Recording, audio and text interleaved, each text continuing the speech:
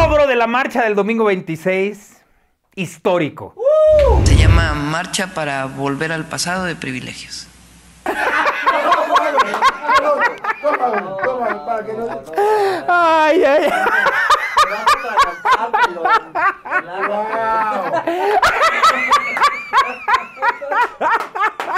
Y llego y entro a, a la sala y me encuentro a López Obrador sentado. Ok, ¿qué te querían? Eh, mira, queremos que hagas migas con López Obrador. ¿Ese- ¿Esa era la intención? Empezaron, ¿qué te tomas? Y quién sabe qué, qué pasó, Andrés. Yo cuando lo vi dije, esto, esto, esto huele raro, ¿no? Y, y dice, yo te pido que ya no sigas obstaculizando mi camino. Y le dije, mira, en este momento voy a ganar un enemigo y voy a perder dos amigos, que quiero mucho. Pero ni muerto, cabrón. Sí, soy un místico, ¿eh? eso sí. Atypical TV al servicio de la comunidad. Pedimos su ayuda para localizar la cordura del presidente de México.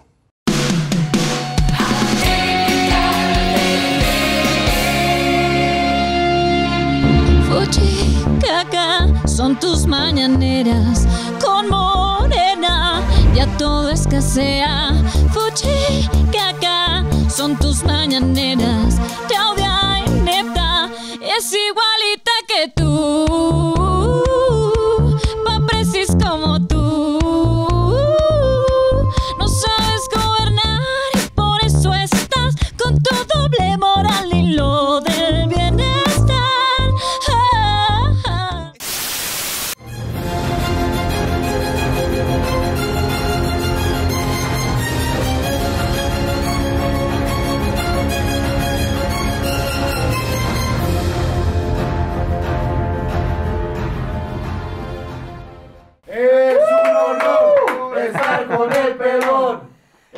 Es un honor estar con el pelón.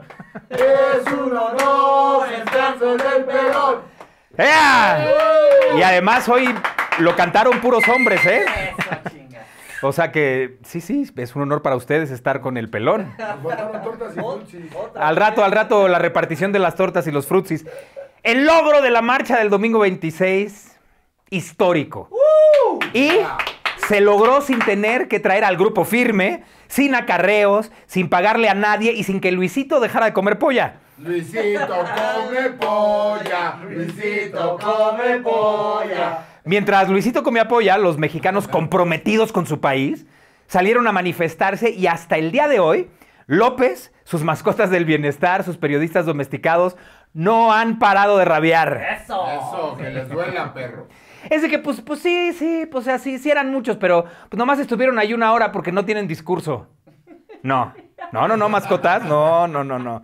Estuvimos ahí una hora porque íbamos a lo que íbamos. Y como nadie nos acarreó, dependíamos de nosotros mismos para regresar a nuestras casas o a donde se nos hincharan las narices de ir. Además, aunque era domingo, pues, todos teníamos cosas que hacer, a diferencia de ustedes, que por no hacer nada el gobierno les da dinero y tienen que aguantarse horas bajo el sol mientras López Obrador se deleita a sí mismo oyéndose hablar por dos horas. Hay una gran diferencia entre ser acarreado y que te lleven a la fuerza a ir por tu propia voluntad e irte a seguir disfrutando de tu domingo sin tener que pasar lista para que te den tus 500 pesos, tu torta de salmonela y tu frutzi. Ante los cientos de miles de manifestantes, se vio a López Obrador cantando a solas. Ya no puedo más. Ya no puedo más. Siempre se repite esta misma historia. Ya no puedo más. Ya no puedo más. Estoy harto de rodar como una noria. ¡Wow! Y mientras estábamos, mientras estábamos todos en la explanada, ya saben, en el zócalo ahí, de pronto una manta, descolgaron una manta, ya saben, las mascotas domesticadas. Miren, miren lo que decía la manta. ¿Qué tal? ¿Habrá algo que no haya copiado eso? Ay. Hace una semana, imagínense a mi edad, este año cumplo 55, a mi edad, hace una semana abrí mi cuenta de TikTok. Apenas he empezado a subir uno que otro video y he estado navegando por la aplicación y descubrí dos cuentas que me gustaron mucho. Así es que esta semana voy a gomisear dos cuentas de TikTok, no de Twitter, de TikTok. Ella, ella es brillante. Habla mucho español y con sus respuestas me ha hecho reír mucho. Y él, él está muy divertido. Tiene un estilo original y también me ha hecho reír muchísimo. Síganlos, síganlos. TikTok, ya voy a volverme más tiktokero que tuitero. Hoy estará con nosotros aquí Pedro Ferriz de Con. Así es que haciéndole un homenaje, vamos a las noticias. Miren lo que hizo el gobernador de Nuevo León. Los 7 kilos que subí. ¿Neta? Holy shit. Ah, ¿siete kilos?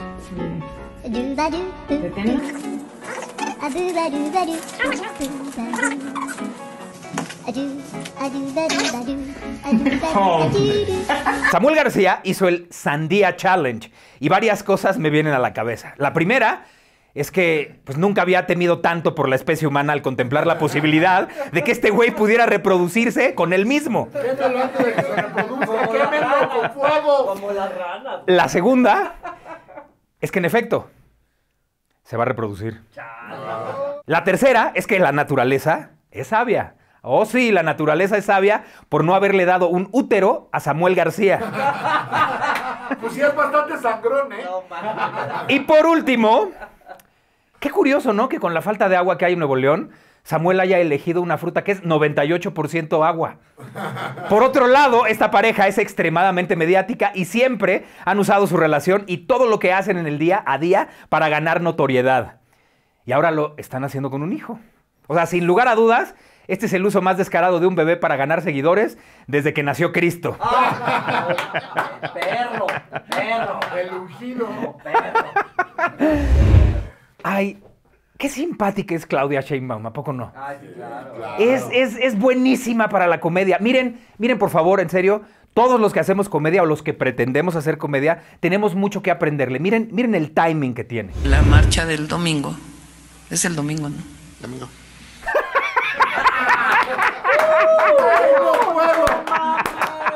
¡Mames, se me parten las costillas! Nueva York. ¡Directo a la factory, güey! ¡Wow! Ay. Más, más, más, Claudia, Claudia, porfa, porfa. Dame más, Claudia, dame más. Se llama Marcha para volver al pasado de privilegios. No... Ay, ay.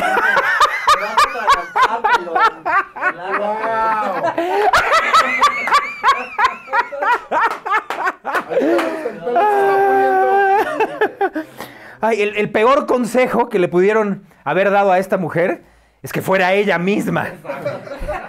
Podría describirse a Claudia como alguien encantadora, inteligente y genial. Y sí, tal vez en su otra vida sí lo llegue a ser. Si algún día tuviera que comerse sus palabras, hijo, pobre Claudia, se envenena. ¿Saben lo que son los aluches? Uno de los escritores del programa tiene ese tamaño. Ya empezaron con los chistes locales, ¿no? Porque sí, uno de los escritores del programa parece aluche. Son criaturas mitológicas que viven en las selvas del sureste de México y las cuidan. Hagan de cuenta que son el equivalente de los elfos. ¿Y qué son los elfos? Son los duendes de la mitología nórdica y germánica. ¿Por qué les estoy diciendo todo esto? Porque el presidente López cree en los aluches. Sí, sí, miren este tuit. Les comparto dos fotos de nuestra supervisión a las obras del Tren Maya. Una, tomada por un ingeniero hace tres días, al parecer de una luche. Otra, de Diego Prieto, de una espléndida escultura prehispánica en Ekbalam. Todo es místico. ¿Qué tal? ¿Qué tal? ¿Qué No, tal? bueno. Yo quiero de lo que consume el presidente. Pero además qué raro, ¿no? Que le llame a una escultura prehispánica si él lo que detesta es todo lo que tenga que ver con lo hispano. En su última sesión con su psiquiatra, López Obrador le dijo, no, pues puede ser que las voces en mi cabeza no existan, pero ven a luches. Me encantaría que en este momento AMLO fuera el candidato a la presidencia. ¿A poco no sería muy disfrutable oír todo lo que le diría al que ahorita está de presidente? En otras noticias, no era una luche. sino la primera dama a la que le encanta subirse a los árboles y al llegar la noche no hubo quien la bajara. Me parece más al tinieblas, ¿no? Con la luz. Continuando con la literatura fantástica y la ciencia ficción, el diputado Antonio López Ruiz del Partido del Trabajo en Puebla hizo referencia a la línea icónica del tío Ben en Spider-Man. Con grandes poderes vienen grandes responsabilidades. Un gran poder conlleva una gran responsabilidad y esto no lo dice Mao, diputado Alcántara. Esto lo dice el tío Ben a Peter Parker, mejor conocido como Spider-Man. Oye, Antonio, eso se lo hubieras dicho al presidente antes de tomar posesión. Además, López Obrador no es como Spider-Man. López Obrador es como, como Thanos, pero con la diferencia de que Thanos eliminó el 50% de la vida en el universo con las piedras del infinito y López Obrador lo hace quitando medicinas, pidiéndonos que nos abracemos en plena pandemia, gastándose el fonden y enfrentando al crimen organizado con abrazos. Cada quien destruye la humanidad con la capacidad que cada quien tiene para destruirla, ¿no? Qué importante es que nuestros políticos estudien a los superhéroes, ¿a poco no? Yo les cuento que me encuentro repasando algunos de mis libros y películas favoritas como este. Ética y Superpoderes por Travis Smith. ¿Quién es Travis Smith? Es un doctor en ciencias políticas por la Universidad de Harvard, quien nos dice que los superhéroes transmiten valores muy importantes para nuestra sociedad. Más adelante les voy a comentar unas super ideas para Puebla. A ver, Antonio, diputado de Puebla, te explico. Tú no eres camote man. Deja de ponerte los calzones por encima de los pantalones, pero déjate la capita. Porque eres súper teto. Hijo. Virgen, seguro. Seguro, sí, sí, sí. Y ustedes disculpen que no deje la ciencia ficción y la literatura fantástica, pero pues ahora sí que no fui yo. Son los políticos de nuestro país. Un tuit polémico en donde se observan a varios legisladores integrantes del PAN pintándose de azul, simbolizando su fidelidad al partido. No, les digo en serio que nosotros no tenemos que escribir material para este programa. Nos lo dan así, facilito. Gratis. ¿En serio nunca pensaron que todos nos íbamos a burlar de ustedes y los íbamos a comparar con los Naví de la película Avatar? Eso sí, es mucho más fácil encontrar vida extraterrestre que encontrar un político serio y honesto. Se hizo viral un video de TikTok del diputado Santiago Krill. Hola, me llamo Lucas y estoy muy feliz porque después de seis años al fin voy a poder descansar. Pero no se asusten, no me pasó nada, solo que después de seis años trabajando en la Cámara de Diputados, me jubilo y me voy a mi nueva casa a disfrutar con mi familia. Oigan, esperen, aún no me puedo ir. Me falta una cosa más por hacer. Claro, no podía irme sin despedirme de mi jefe, Santiago. Me voy a extrañar muchísimo, ¿eh? Pero si tú vas a visitarme, yo también vengo a visitarte. ¿Trato? Trato. A descansar. Deber cumplido, amigo. Y sí, el diputado Santiago Krill recibió en su oficina a Lucas, un perro del cuerpo de seguridad que resguarda el Palacio Legislativo de San Lázaro. Ante este hecho, la reacción general de todos los que trabajan con Santiago fue... ¿Quién dejó entrar a este animal? Y ya después se aclaró que Noroña sí tenía una cita programada con Santiago. Nosotros no aceptamos eh, toda la farsa eh, que ha significado la destitución del presidente Pedro Castillo, porque no se respetó la voluntad del pueblo de Perú y se cometió una gran injusticia al destituirlo y encarcelarlo y luego eh, establecer de facto un gobierno autoritario, represor. Además, molesta mucho que todos callan, que son muy hipócritas. Gritan como pregoneros, ¿no? Cuando les conviene. Y callan como momias cuando no les conviene. El señor López ha decidido afectar gravemente las bicentenarias relaciones de respeto mutuo, amistad, cooperación y voluntad de integración que históricamente han unido al Perú y México, al privilegiar afinidades ideológicas en menoscabo de importantes procesos de integración que benefician a nuestros pueblos, como la Alianza del Pacífico. Teniendo en cuenta lo anterior, he dispuesto el retiro definitivo de nuestro embajador en los Estados Unidos mexicanos. Como ustedes saben, acabamos de romper relaciones con Perú. Bueno, nosotros no, sino el presidente López rompió relaciones con Perú. La presidenta de Perú, pues lo hizo muy bien. Le dijo, señor López, conmigo no se meta y se llevó de regreso al embajador de Perú en México. Bueno, el caso es que yo quiero saber qué opinan las mascotas del bienestar acerca de esto. Buenas noches, don Marx. Nos gustaría saber la postura de México con relación al rompimiento con el gobierno de Perú. Buenas tardes, pero primero que nada no me diga Marx. Yo jamás presumiría de ponerme el nombre de, oh, el señor Marx. Me llamo Máximo Ramírez. Lo que pasa es que mi, mi papá era disléxico. Y fíjese que, como dice mi líder, ¿no? Como dice mi líder, Máximo, nosotros no aceptamos esa falsa porque no se respetó la voluntad del pueblo de Perú. Es un gobierno espurio de una presidenta espuria. Bueno, sí, sí, do- don, don Marx. Pero. Máximo. Sí, sí, Máximo. No, no, no se le hace un exceso llamar a la presidenta de un país tan querido como Perú espuria. Mire, lo que pasa es que es que me molesta mucho. Ah, Primero que nada, no sé qué quiere decir espuria. Además, todos callan. Usted defiende a la presidenta como defiende a la oligarquía mundial, porque todos los periódicos internacionales, aquí está China, están comprados. Además, usted vivió en Miami como Carlos Loret, que trabaja para la Raki y le gusta pegarle a los gordos y al. ¿Qué No estamos hablando de mí. Don Máximo, concéntrese en Perú. Mire que llamar espuria a una presidenta que defendió el Estado de Derecho de un expresidente golpista como Pedro Castillo. Mire, le voy a explicar. Aquí viene la definición de espuria y me la sé casi de memoria, mire. Primero dijo que sí sabía, luego que no, luego que sí. Usted a ver, tranquilo. A ver. El, el- el comunismo cambia y varía, no como el capitalismo que es un, es un monolito. Es una espuria, pisoteó la democracia y al destituir al presidente Pedro Castillo y se convirtió en una gran injusticia. A ver, don Máximo. Bien sencillo. Ey, ey. ¿Quién Pero dice? también Pedro Castillo andaba queriendo desintegrar los poderes para gobernar como alguna vez lo hizo Fujimori, Fujimori, Fujimori en aquel país.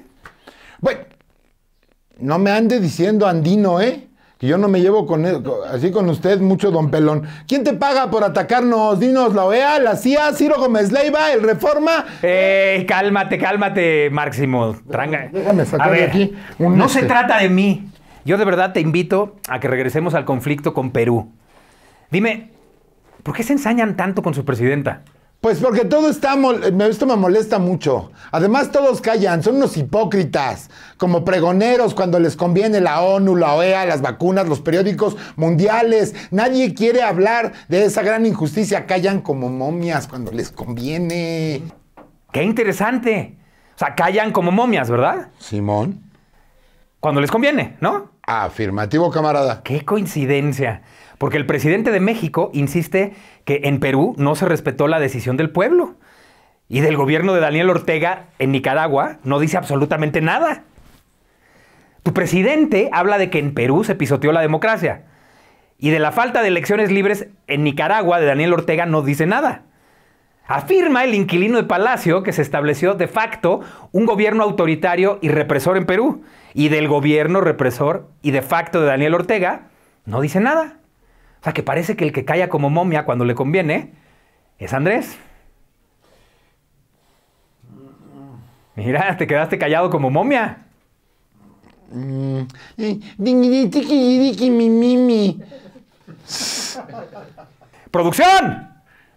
Vitacilina para el señor, por favor. Vámonos, a lo que sigue. No, mira, pero antes de irme te dejo una estampita de Mao. Las vendo a como a, do- como a 20 pesos. ¿No quieres una? Ah, No, mamá, espérenme, no me vamos a lo que sigue. culeros. A lo que sigue. Mi invitado de hoy no lo sabe, pero en los 90, cuando yo empezaba a interesarme en la política y empezaba a interesarme por lo que ocurría en el país, era la persona a la que yo oía. Estaba junto con Solórzano y junto con Carmen Aristegui y era mi ídolo máximo, porque lo que él decía no lo decían los demás. Pedro Ferriz de Con, bienvenido. Gracias por venir a platicar con este pelón irreverente. Eres una maravilla, No, no, no, no lo sabías. Tú no sabías que en los, bueno, sí sabes que en los 90 eras eh, el canal alternativo para poder escuchar lo que ocurría en nuestro país y en el mundo. y no ir a los mismos. Y entonces a mi generación nos marcaste. Se empezaba a decir cosas en la radio y a mí me daba mucho gusto ser disruptivo, ser irreverente. En alguna ocasión me tocó como candidato a la presidencia de la República Carlos Salinas de Gortari y le hice una entrevista de tú. Oye, Carlos. ¿Y qué te dijo? Y el otro, mm, nomás vi cómo se echó para atrás. Y La verdadera comunicación nada más puede existir entre iguales. En el momento en el que él pone el, La barrera. y decir, hey, yo soy el presidente, soy una autoridad, ya no hay comunicación porque entonces tú te haces menos y estás hablándole a alguien que tiene supuestamente... Una potestad. Sí, un- más grande que la tuya ti. y somos iguales. Sí, y entonces estuve en el Carlos y tú y mira, ¿y qué vas a hacer con México y todo? Y todas así se reían.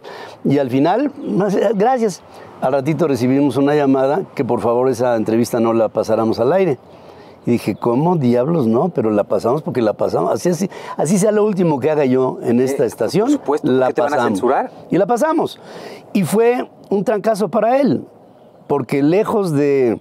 De alejarlo de la gente lo acercó por, por- por la manera en la que te referiste a él. Claro, claro. Estoy completamente de acuerdo. Y al principio, pues él puso esa cara de, de- de- de reprobación por lo que yo estaba haciendo y acabó siendo un éxito para él.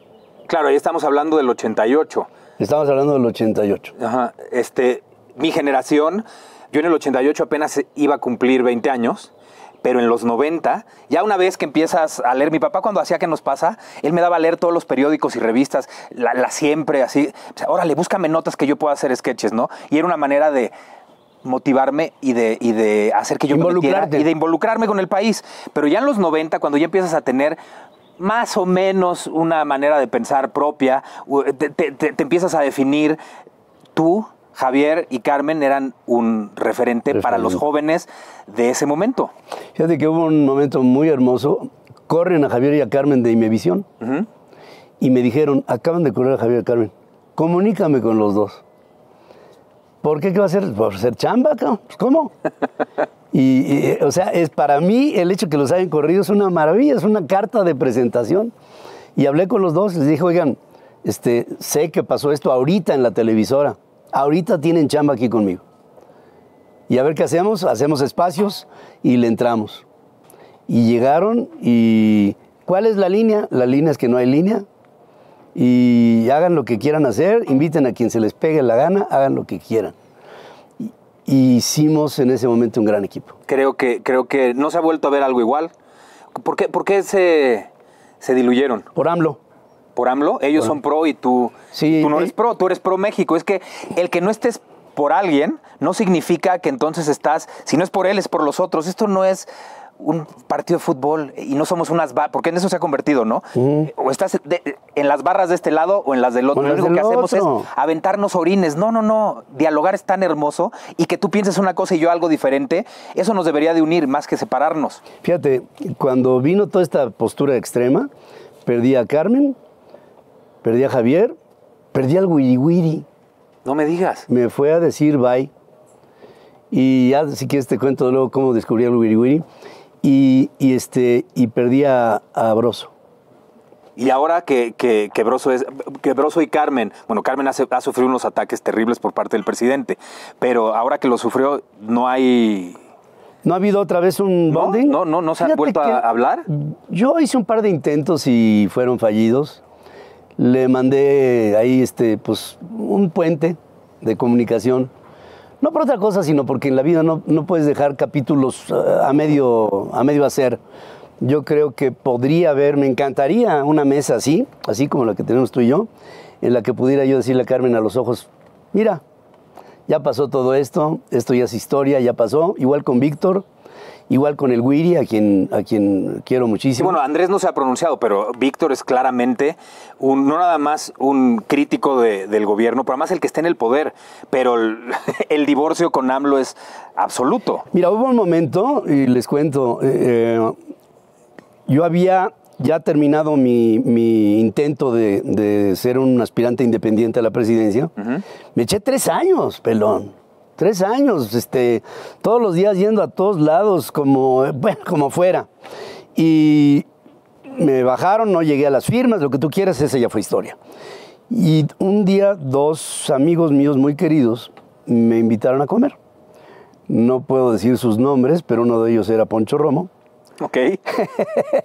y el otro era Daniel Chávez. Daniel Chávez es un hombre poderosísimo que es el dueño de todos los vidantas, de todos los hoteles. Uno, eh, All mi- inclusive. Mi compadre, mi amigo de 30 años. Entonces me invitaron los dos a comer a casa de Poncho y entro, y amenaza, ¿cómo estás? Me dice Poncho. Así me dice porque fuimos socios en imagen.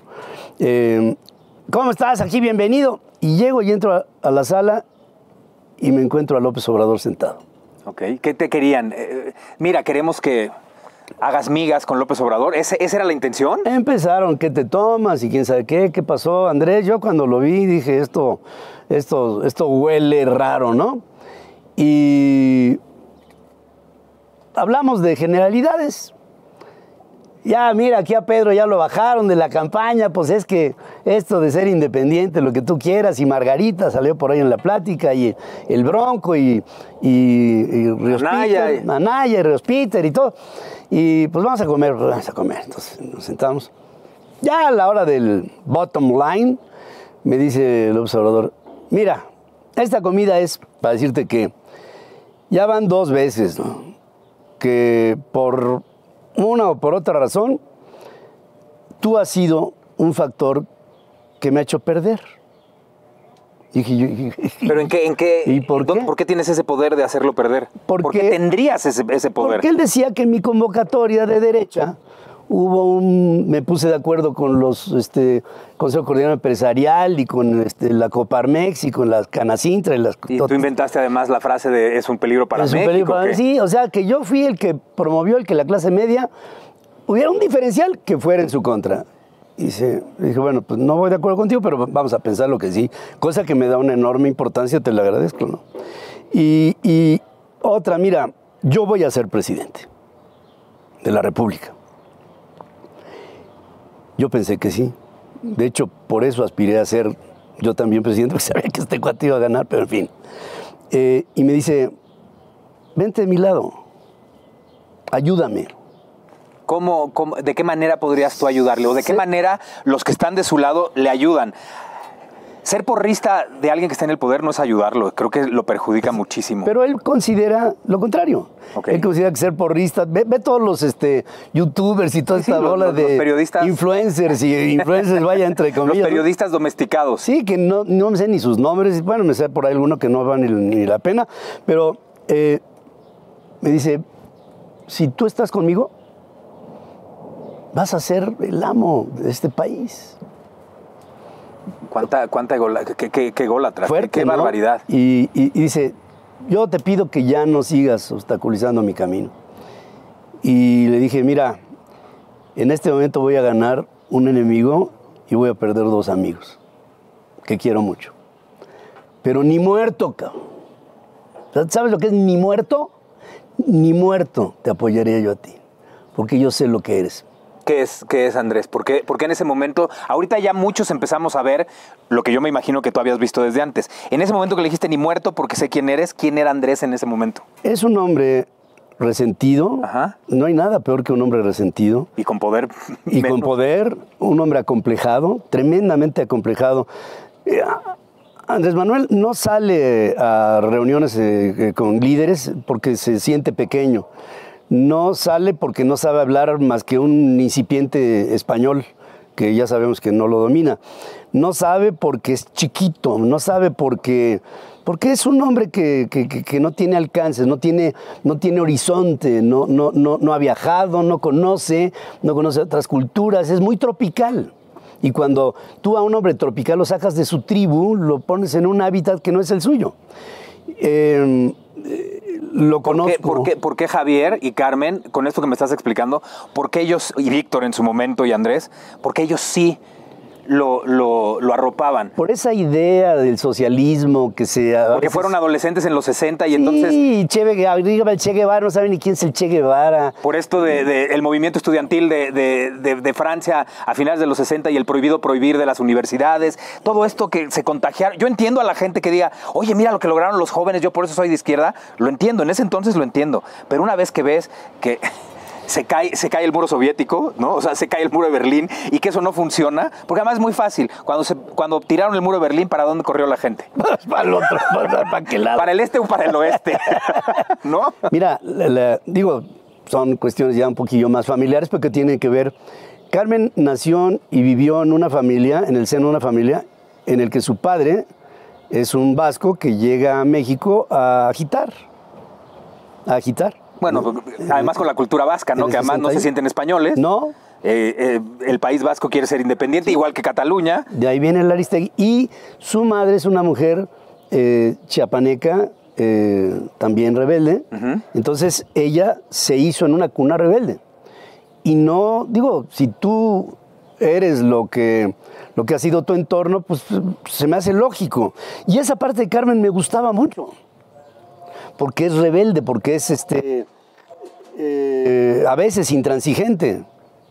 A veces Pero, pero, pero, eh, rebelde también eres tú. Muy. muy y, y- y- e intransigente, etcétera. Pero, pero tiene que haber algo superior a, a todos, a Carmen, a Javier, a Alguiri, a Broso, a Gael García, a Diego Luna, ¿verdad? que es México. México. Hoy se dan cuenta de algo que no vieron, pero yo pienso que un comunicador tiene la obligación de, en la medida de lo posible, no equivocarse. Y de entrada ser imparcial. Y de entrada ser imparcial. Y no está mal que te definas y digas, hey, yo mi soy más de derecha que de izquierda, pero eso no quiere decir que vas a abrazar y vas a arropar y vas a cuidar y no vas a dejar de criticar a la derecha, porque entonces no estarías haciendo tu trabajo. Y, y no sé si coincidas conmigo en, en algo que te quiero proponer. ¿Qué, quiere decir un hombre de derecha? Por lo general, cuando alguien me describe un hombre de derecha, es un hombre que nada más piensa en la lana, que nada más piensa en él, en su patrimonio y en que sea un país para él de privilegios con los banqueros y con todas esas cosas. Este, Abel Quesada y el, el- el- el anillo ese que tenía así con un diamante, ¿no? Pero, pero yo pienso que la derecha se equivoca cuando se deja definir como que no le importan los pobres. O que no le importa a la gente, ¿no? O sea, que piensa nada más en el individuo y no en, y no y no en el, la- en el global y no en, el que- pueblo. hombre, porque si tú tienes una sociedad que suba y tú produces algo, pues va a haber más gente que te lo compre, ya velo por ese lado. y, y gente más educada, pues ya te va a entender mucho mejor tu, tu, tu- tu- tu intención de país. Ahora, del- de la izquierda. Una izquierda que nada más piensa en los pobres y que nada más piensa en, en la revolución. Bueno, pues sí, pero, pero, pero hay que hacer país y alguien tiene que pagar todo eso. Entonces, y hay que haber, tiene que haber inversión. a cobija. Y entonces yo te propongo, ¿qué pasa si dejamos de pensar en derechas e izquierdas y empezamos a pensar en adelante o atrás? Y yo pienso que cualquier gobierno que se respete eh, tiene que pensar en los próximos 30 años. En, en los próximos 50, ver cómo va a ser el mundo. Si el mundo, ¿qué era WhatsApp hace tres años, pelón? Sí, no, nada. Ni, ni- y las redes sociales y el internet. ¿Qué era TikTok? Hace 10, hace 10 no eran lo que son hoy. Nada. Y este, esto que inventó Steve Jobs, o sea, el, el que todo, una computadora esté en tu teléfono, incluyendo la música, este, cambió el mundo. Y si eso no lo entiendes, y el acceso a la información, Fíjate, hace, hace muchos años me dijo un de estos PRs, ¿no? Este, Oye, fíjate que llegó aquí a México un cuate, un jovencillo, que dice que quiere, que, que acaba de poner una empresa y que le va a dar en la torre a IBM y a Hewlett Packard. Y dije, ¿bajo qué premisa? Dice, pues que antes, los chavos no lo saben, pero antes este, tú te metías en una computadora y le dabas un comando mal y se trababa la computadora, porque había un superlenguaje al que le tenías que hablar y si le dabas una instrucción que no era, se trababa. Y ese muchacho lo que decía es, voy a poner un doctor eh, por- en línea, en donde si a las 3 de la mañana estás haciendo una presentación de algo y te trabas, me hablan y yo pongo a mi doctor en un call center y yo le arreglo la bronca de cómo se le atoró a la Hewlett o la, o la IBM. Ah, ah, dije, ay, hija, tráemelo. Y al día siguiente llegó un chava- chamaquito, ¿tú cómo te llamas? Michael Dell. ¿era, era- era el creador de las Dell? Eh, El dueño, hoy. Michael Dell, ah, sí, y tú le vas a dar en la torre a IBM ya. Sí. Bueno, no fue el director de la IBM cuando las, computa- las computadoras personalizadas que dijo, eso nos va a llevar a la quiebra y entonces no las hicieron y se fueron a la quiebra por Y- no hacerlo. Claro. ¿No? Y él dijo, hay que hacer esto, me, me acuerdo la palabra friendly, hay que hacerlo De manera friendly". amistosa. Y, y- y entonces este, dije, "Es- yo no sé a dónde va a llegar este muchacho, pero va a llegar a ser alguien muy grande. Y fíjate, hoy Dell es Dell, ¿no? Y, y- y así, pues, me ha tocado conocer gente que ha venido a proponer un cambio del mundo, como, como Bill Gates, que me costó un trabajo entrevistar, ¿verdad? Pero que cuando llegó dije, paso, mecha, y este es el genio que dicen que es. No hablaba, pero no hablaba, decía nada. Sí, sí, entre él y Steve Jobs en, en la guerra que tuvieron en, en los garages en, en- en California, pues cambiaron el mundo con sus ideas. Pero unos locos geniales, divinos, este, que, que- que, pues, han cambiado el mundo y que el mundo sigue generando genios cada vez más. Digo, nadie conoce el cuate que diseñó eh, este, Twitter o, o- o- o que diseñó este, Facebook. Bueno, eh, ahí está Zuckerberg. Pero todo el equipo que tiene de transformación de todo lo que viene a ser la nueva Zuckerberg, forma de- Zuckerberg se lo robó, ¿no? O sea, él fue, él fue un gran, gran, gran genio para, para robarse cosas de otros y adueñarse de todo. Pero después supo desarrollarlo. Sí, también. Eso es, es- en eso estoy de acuerdo. Y lo, que, y lo que tú estás diciendo es que un Andrés Manuel o alguien como él no ve esto y No no, ve se hacia fija adelante. y no ve hacia adelante. Yo, estoy, yo siempre he dicho esto. Ahorita que dicen, es que no hay agua, es que el, el- el transporte, es que la vialidad. Yo te puedo jurar que en la época que eran regentes, no jefes de gobierno, en los 60, finales de los 50, yo te juro que pudo haber much- muchos tecnócratas llegado con los gobernadores de este país y, y les dijeron, oye, dentro de 50 años va a haber un problema de vialidad y de comunicación muy fuerte. ¿Para cuándo? 50 años. Ah, que se ocupen los de... No, no, no, ocúpate ahorita para que en ese entonces no se vuelvan locos. Yo te puedo jurar que eso pasó continuamente. Desde los, los Adolfos, este, los Migueles, o sea, pasando por cada uno de los presidentes y nunca vieron a futuro. Pero es que ellos venían, veían su sexenio. Nada más. Y lo importante era inaugurar en su sexenio. ¿Qué es lo que piensa este hombre? Digo, y además de inaugurar sin que... eh, eh, eh, Sin que jale. O sea, un aeropuerto sin aviones. un, un- vuelos. Un, un dos bocas sin, barriles. sin barril. Bueno, barriles. Luego llegan unos a revisar unos barriles. Sí, sí. No, no, no. Por eso yo digo que, ¿sabes en qué podríamos ser potencia? Si le empezamos a vender a las grandes potencias de crudo, o sea, a los grandes petroleros, barriles vacíos, porque eso sí nos sobra. Si los empezamos a vender barriles vacíos, podríamos generar algo de dinero y de economía. Hombre, tú sabes lo que es hacer un logro de comprar una organización que es una chatarra como Deer Park. Terrible. Con, con una deuda acumulada que no se No, pero además esa agrégale la deuda de Pemex. Y luego, antes, antes de, de seguir con la, con la conversación, tú sabes que ya van, ya van dos plagios, ¿no? Para su, para su licenciatura y para su doctorado de la ministra. Bueno, y la náhuac dijo que se lavaba las manos. No sé si sepas que el fundador de los Legionarios de Cristo y fundador de la náhuac del norte, Maciel, te debe de sonar este hombre, este nombre de este asqueroso ser. Lo conocí. Bueno, Y él, bien. Se, él se plagió un libro completo de un español llamado Luis Lucía que se llamaba El Salterio de, de- de- de mis horas y le puso El Salterio de mis días. Y ese es el libro de cabecera de los Legionarios de Cristo. Entonces me ocurrió hacer una lista de cómo ser un líder de la iglesia y salirte con la tuya. Ahí está la lista. La náhuac se lavó las manos. ¿Y cómo no se iba a lavar las manos ante un caso de plagio si el fundador de esa universidad y de los legionarios de Cristo plagió el libro de cabecera de esa congregación? ¿No sabían? ¿No sabían? No me digan que no sabían. A ver, este hombre se plagió un libro llamado El Salterio de mis horas de Luis Lucía y al de él le puso El Salterio de mis días, ya sabes, ¿no? Porque es brillante para que nadie se diera cuenta. Ya no tiene sentido. ya. Así es que- a continuación, 10 requisitos imprescindibles para ser un líder de la iglesia y salirte con la tuya. De- Uno. Nacer el 10 de marzo de 1920 en Cotija, Michoacán y ser bautizado con el nombre de Marcial Maciel Degollado. El lugar y la fecha son muy importantes. Dos.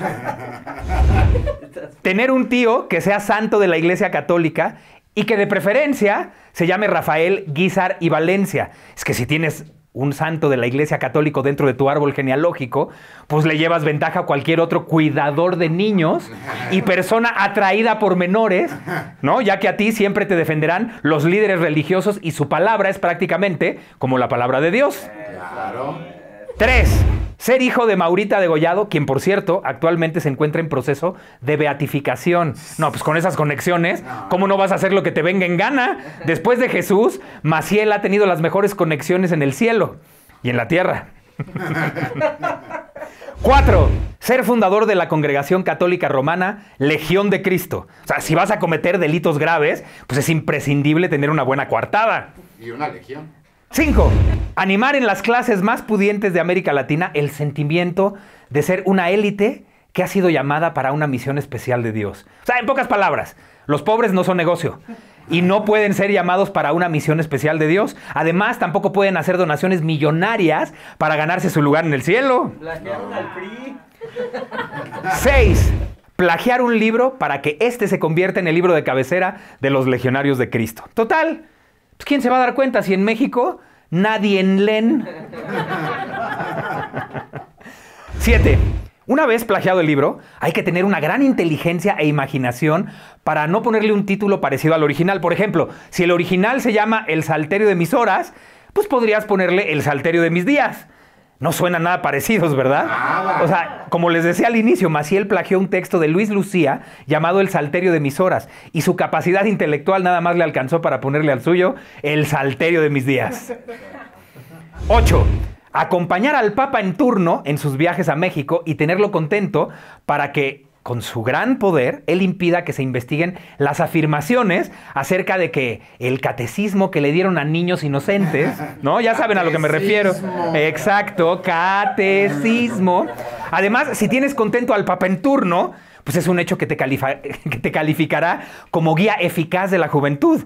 Y de esa manera tendrás a tu disposición a más niños para poder jugar con ellos. Claro. No, lo que sí hay que, lo que, sí hay que agradecerle a Marcial es que fue congruente consigo mismo y con la Iglesia Católica al no utilizar condón. No, o sea, porque una cosa es encargarse de los niños inocentes y otra muy distinta es negarse a traer a los niños que Dios te mande, ¿no? Ahí no pega. ¿Qué? ¿Quién dijo eso? 9. Tener una doble vida y si puedes, ten hasta una triple. Eso te dará la oportunidad de tener varias mujeres con las que podrás romper tu voto de castidad y traer al mundo niños inocentes para darles el cuidado pastoral Eh, ah, y también enseñarles nuevos mundos. Déjame te pastoreo. Y 10. Nunca te arrepientas ni pidas perdón. Lo peor que te puede pasar es que el Vaticano te invite al retiro llevando una vida de oración y de penitencia. ¿Tú sabías que, que había plagiado ese libro, Maciel? No. No. Pues cómo se van a manifestar ante un plagio si su líder plagió un libro completo que además es el libro de cabecera de los legionarios de Cristo. Es increíble cómo, cómo se metía ese hombre ¿eh? en, los, en, los, en las entretelas del poder. Y el poder que tenía, ¿no? Porque además que, que estaba, que estaba apoyado por el Papa, pero por los grandes empresarios de este país que jamás se imaginaron lo que estaba haciendo. Y de varios países. O sea, el hombre eh, tuvo cosas que son incalificables aquí y, y en cualquier momento. Ahora, tuvo cosas que si él, si él hubiera sido en lugar de lo que fue, hubiera sido un empresario con todos los problemas que puede tener de vicios y de, y de este, deformaciones morales, etcétera. Bueno, el hombre hubiera sido este, extraordinariamente exitoso. De hecho, pues ahí deja un legado que hoy es vergonzante. Pero yo quisiera que lo hubieras visto cómo se coló en el Vaticano. ¿eh? No, no, no, no me lo tienes que decir. Pues cómo lo cuidó, cómo lo cuidó Juan Pablo, ¿no? Íbamos en un, en un vuelo en 1990 y venía yo traduciendo un, un artículo de, de la, el Corriere de las... No, no, de la... eh, el, el- la- ay, el periódico del Vaticano, de la oficina de la estampa. Bueno, estaba yo traduciéndolo y de repente me faltaban algunas palabras que no sabía yo qué eran. Y en el avión eh, viene pasando un padrecito y dijo, le dije, padre, ven, ca-". Le vi cara como de que sabía, ¿no? y entonces eh, llegamos, ahí estábamos Joaquín López Dóriga, eh, Guillermo Ortega y yo. Y dije, oye, hablas muy bien el italiano, ¿eh? Sí, sí, sí hablo. Siéntate, siéntate y, este, ayúdanos con esto. Y entonces empezó, mira, esto quiere decir esto, Uchire quiere decir por acá, matar y quién sabe qué. Y, y- y yo veía que llegaban cuates y me decían, como diciendo, No le. no, no manches, güey, lo que estás haciendo. ¿Y era Maciel? Era Maciel. O sea, tú no lo conocías, no, sabías cómo era no físicamente. la menor idea. Y el cuate empezó a trabajar con nosotros y le hacía a su gente que, que no lo molestaran. Bueno, pasan las horas de vuelo y sale el papa y me jala del brazo y me dice, quiero que te hagas muy amigo de este hombre. Y era Maciel. ¿Y le hiciste caso? Fíjate que sí, sí le hice caso. En primer lugar, porque me decía un cuate que yo, que yo quise mucho, yo, yo quise mucho a Juan Pablo II. Lo acompañé en todos sus viajes, desde el primero hasta el último. Lo acompañé en, en- en su muerte, cuando... Sí, que si no, si, si no mal recuerdo, yo era un niño y fue en el sexenio de López Portillo cuando vino, ¿no? En el 79. Fue la primera vez. el sexenio López Llegó un joven Carol Boitila tremendamente carismático, después de que habíamos tenido papas adustos que, que no salían del Vaticano y de su, de su cueva. Y el que estuvo antes que el que duró poquitos días, ¿no? Que, que murió envenenado. Sí, Juan Pablo I, que no duró ni la víspera. Pero eh, a, mí me, a mí me subyugó Juan Pablo II, de verdad. Y te lo digo y...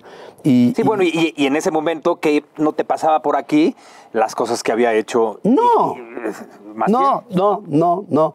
De hecho, una vez, eh, estando eh, en- aquí en un hotel de Polanco, iba yo a entrar a dar una plática y me pusieron una oficinita a un lado, así como ya sabes, cuando te ponen de backstage para, para que te concentres Concentres. y todo eso.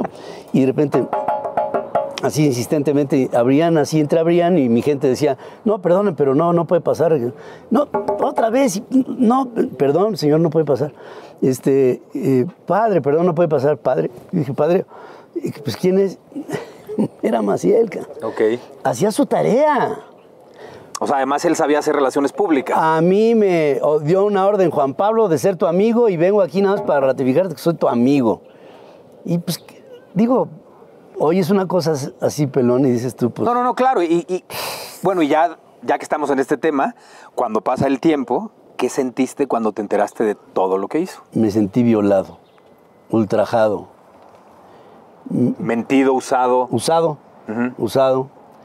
Eh, después vino toda la historia de Ratzinger, ¿no? Que el Papa envía a Ratzinger con Juan Sandoval Íñiguez, que era el cardenal de, de Jalisco, para investigar en Marabatío todo el asunto y de- de- del padre Maciel. Se integró un expediente tremendo. Llegó ese expediente hasta el Papa, el Papa no hizo nada. Y cuando muere Juan Pablo II, que asciende Ratzinger al, a- al papado, lo primero que hace Maciel es bajarse de la legión porque sabía que si Juan Pablo II le había perdonado, Ratzinger, él, él no, le iba, a per- Ratzinger, no le iba a o sea, perdonar nada. Y, y para evitar la vergüenza, entonces él se bajó del escenario y Ratzinger lo entendió. Sí, bueno, esperando que, que- que en el más allá no haya perdón. Espero que sí se pudra en el cielo por, por siempre. Espero que las leyes universales sí hagan, sí hagan su trabajo. A ver si no se conquista la amistad de San Pedro. No, no, no, no, no, qué, te- qué terror, qué terror. Mientras, mientras veíamos esto, estábamos hablando de cosas, pues, del futuro, ¿no? Mm. De inteligencia artificial, de cómo ha cambiado y nos va a cambiar la vida. Sí. O sea, tú sí estás metidísimo en, en- en- en el día, estás al día, pues, informado es que, al día. Es que tienes que estar al día y tienes que estudiar. No permites que te rebase el tiempo. a No, una- no, a nadie que se dedique a la comunicación, bueno, a los demás tampoco, pero especialmente a los que se dedican a la comunicación, no puedes permitir que el tiempo te rebase. No, tú no puedes hablar de oídas. O sea, si a mí me dicen que hay un problema en Ucrania, yo tengo que entender que Ucrania fue la base de Rusia. Y tengo que entender que ucraniano No, bueno, es por- ruso. Y por el Mar Negro están ahí, ahí estaban los submarinos nucleares, por eso, por eso le interesa tanto este. Y, y la tercera parte de la fuerza nuclear es Y- ucraniana. Y una gran parte de, de- de ge- de- de la gente que vive en Ucrania son rusos. Entonces también se quedaron atrapados del otro lado. Su lengua materna es el ruso. Entonces, hay una cuna. Entonces, tú no puedes nada más leer una nota que te escriben en una redacción y decir, es esto. O sea, perdón, ¿para qué está esto? Entonces, tienes que pensar, tienes que entender y no puedes hablar de oídas. Y si en algún momento te rebasa, o sea, ahorita tú me preguntaste, oye, ¿tú sabías que el padre Maciel se plagió? Te tengo que decir, no, pelón, pero, créeme que de aquí voy a salir con la tarea de leerme el libro este que me dices. Sí, el salterio de las horas y el salterio de mis días, sí. Porque de no- Luis Lucía Lucía, un, un- un español. Tienes que leer lo que la gente no lee. Es en un 80% plagiado. O sea, ¿cómo se van a manifestar ante un plagio si su líder se había plagiado el libro de cabecera de ellos, no? Sí, porque el, el comunicado que dice la NAWA, que es que después de tres años ya no hay la interpelación de nada, y eso ya, digamos que si tiene un doctorado, pues ya se hace oficial. Pero qué espantoso, porque entonces todo lo que hiciste ya con tu doctorado, con tu licenciatura, pues entonces si lo plagiaste, no te pudiste haber recibido. Por lo tanto, pues es como apócrifo, ¿no? Todo lo que hiciste como, como en, en tu trabajo. Yo entiendo que después de una licenciatura y antes del doctorado hay una maestría. Vamos a ver dónde está, porque a lo mejor ahí también O sea, se la fregó. Imagínate, qué ¿No? terror. O sea, porque, porque si, no se, si no se hubiera graduado, no hubiera hecho toda la carrera que tiene hasta llegar a la Suprema Corte de Justicia de la Nación. Entonces, todo lo que ha hecho es inválido. Y te refleja el tipo de persona que es. Eso es Por supuesto. más... eh, Y no nada más eso, a la gente que la apoya y que insiste en que se quede ahí también te refleja qué tipo de persona es. A mí me da mucha. Mira, yo- ok, la náhuatl dijo esto, no, lo, no comulgo con ello, pero por lo menos ahí está su postura. Pero la UNAM. Yo creo que todos habremos escuchado con mucha atención cuando Enrique Graue salió en medio de la gente a, a- a dar una postura de la universidad y dijo, sí entendemos que hay un plagio, pero la Comisión de Ética y de Honor y quién sabe qué eh, hablará en su momento y dirá, o sea, pateó el bote. En los 60, y, y- y ya lo puse en mi Twitter, hubo un caso de alguien que plagió y lo echaron para atrás. Pues claro. O sea, aquí nada más porque hay conflicto de intereses. Pero ¿en dónde está el orgullo de mi raza? ¿En dónde está, dónde está hablando el espíritu? ¿De quién? De nadie. O sea, creo que le faltaron un par, un par a Graue y no lo hizo. Y, y- y qué desafortunada. Su intervención. Y que Total. des- oye, que después de que termina todavía se echan un Goya. Imagínate. Por Dios, ese es, ese es- es un ultraje. A mí me dio una me dio pena porque si bien yo no estudié en la UNAM, yo tengo el corazón de la UNAM y tengo el corazón del Poli y tengo el corazón de lo que es la esencia de la educación superior en México y esa es una postura que tendría, mira, un ejemplo arrastra. Y si tú como rector dices, miren, yo no sé qué haya en el poder detrás de esta mujer, pero sí sé cuál es el poder de esta universidad. Y eso no se permite. Y Adiós. esto no se permite y te quito el título y hasta luego. Eso es lo que debieron haber hecho. ¿A quién se echa encima? ¿Quién sabe? Y no importa. ¿A quién se echa a favor? A un país. Por completo. Pero además sería lo que se debería de, de haber hecho. Hombre, eso hubiera sido emocionante. Increíble, sí, porque si no, se nota a leguas que estás no queriéndote meter o entorpecer el conflicto de intereses que hay entre el gran amigo Riobó de López Obrador y su mujer, ¿no? O sea, porque claro que lo hay. Por una coyuntura tan estúpida, dejas en, en- en vergüenza a la universidad. Barrosierra se debe haber revuelto en su tumba. Por Dios. Pues sí. El maestro Carpizo, con quien tuve enormes diferencias, se hubiera revuelto en su... Estoy seguro. El mejor rector que ha tenido esa universidad. El maestro Carpizo, eh, extraordinario, deliciosamente culto. En fin, eh, esa es la universidad. Y universidad es universalidad, por eso se llaman universidades, porque se entiende el universo. Por eso son universidades. Y esa parcialidad se me hace tan tropical y tan estúpida, perdónenme la palabra, que lo diga de algo que el propio presidente de la República ha atacado a su alma mater. ¿Quién puede atacar a su alma mater? Alguien que no tiene mater. No, no, no. Pues lo que pasa es que además, como él insiste en que esto es un partido de fútbol y somos blancos contra negros o azules contra naranjas, eh, dijo que ya se había este, aderechizado, ¿no? Algo así. O sea, ya, ya se hizo más a la derecha que a la... No. Pero aparte... ¿Pero por qué, por qué se atreve a decir eso y a meterse con, las, con, las, con la clase media? La clase media es la que... Gracias a la clase media funciona un país. Oye, sataniza, por favor, sataniza a la gente que estudia, sataniza a la gente que sabe. Y que, y que además quiere saber más. ¿Y saben a quién me recuerda? A Stalin. Stalin cuando su cocinera le dijo, oye, aquí hay gente que piensa y yo creo que sería bueno eliminarla. Hizo una purga y mató a todos los científicos de la Unión Soviética. Y mató, hizo tres purgas. Y en esas tres purgas acabó con la inteligencia de un país. Claro, las eliminó, las exterminó, las asesinó. El presidente está haciendo lo mismo, eh, satanizando a quien sabe, a quien se esfuerza, a quien, a quien, a quien, a quien es honesto, a quien, a quien tiene la sensatez de saber de lo que está hablando, por Dios. A él le gustan las mentes en blanco, así lo dijo. Porque claro, son más fáciles de adoctrinar y de manipular. Y de, absolutamente. y de meterles en el cerebro lo que tú quieres que piensen, repitan y hagan, ¿no? ¿Qué, qué nos espera? O sea, tú como comunicador, como un periodista serio, que además yo sí te sigo considerando imparcial, aunque estés en contra. O sea, eso no, eso no te hace parcial hacia el otro lado, porque si estuviera el PAN o el PRI, tú estarías criticando y cuestionando lo- si están haciendo las cosas bien estoy, el o otro, mal. día, el otro día casi fue a distancia, entrevisté a Alejandro Moreno. Sí, yo estaba aquí, paseándome, esperando a grabar. No, pero eso fue cuando ya Alarraqui nos concilió. En mi programa nada más me faltó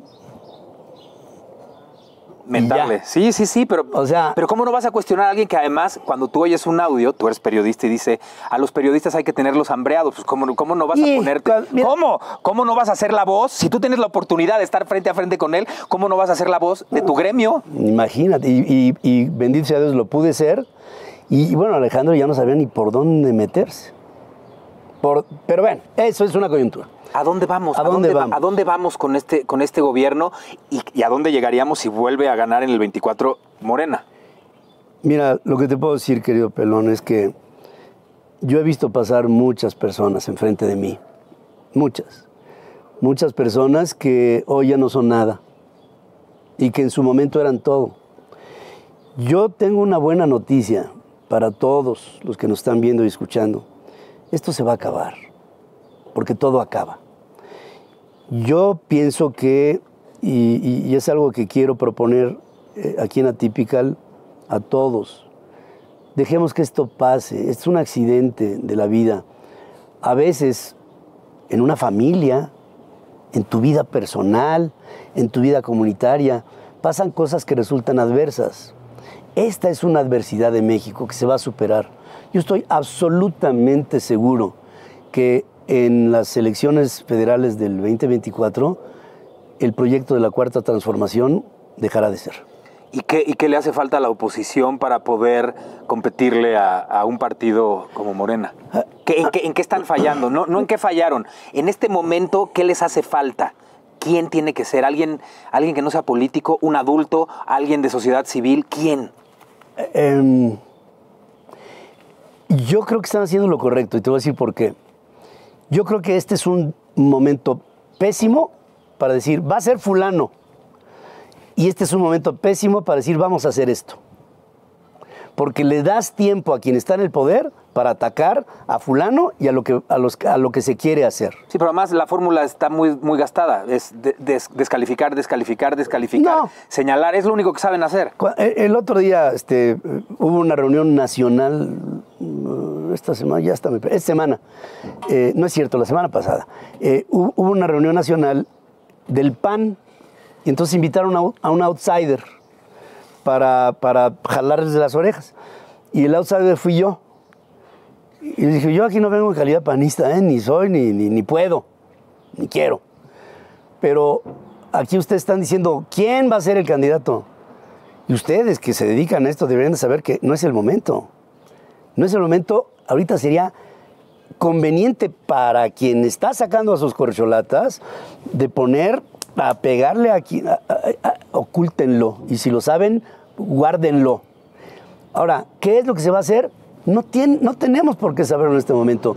Tiene que llegar un momento en, en el que se haga de esto una sorpresa y luego, con una buena mercadotecnia, que espero que la haga Carlitos Alarraqui, este, eh, se, pueda, se pueda dar un vuelco en el que sí llenemos al país de la información y de la inspiración que entre todos eh, necesitamos para, como una sola fuerza, atacar a lo que tenemos que atacar. Y si alguien se acercara a ti así como, como un gran comunicador, tu carrera, tu prestigio, tu nombre, y te dijera, danos un consejo.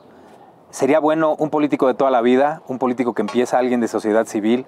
¿Qué sería lo, qué sería lo correcto? Aquí tengo en la mente, ¿eh? Necesitamos a alguien que le restituya a la presidencia de este país lo que se llama el seniority.